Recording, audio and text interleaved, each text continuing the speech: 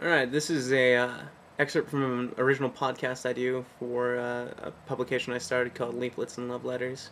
It's uh, dedicated to indie music, and I have interviewed a band, Automatic Boy, and asked them a few questions about what um, startup bands or other bands need to to know while they go on tour. So I figure uh, a lot of students here are in bands, a lot of students play guitar, another instrument, may want to pursue a career in in professional music.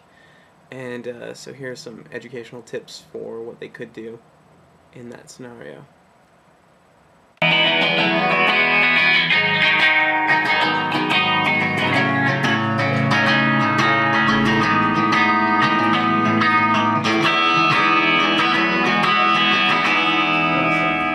What's all of your advice to other young, struggling bands setting out on their first tour?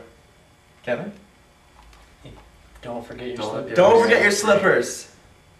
Don't let your other band members drink alcohol because that leads to problems, and then you get annoying.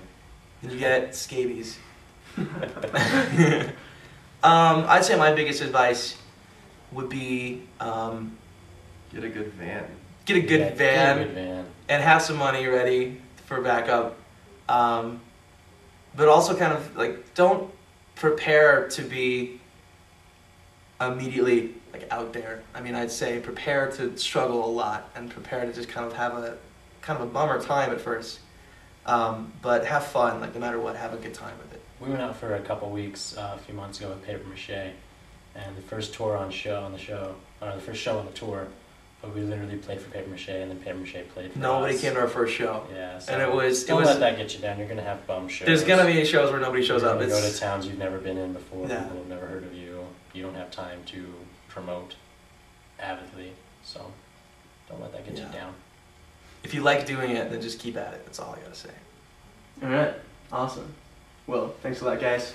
Automatic Boy, you can check him out on MySpace at myspace.com slash Automatic Boy Music. And uh, you guys have a website too, automaticboymusic.com. Yep, and on iTunes.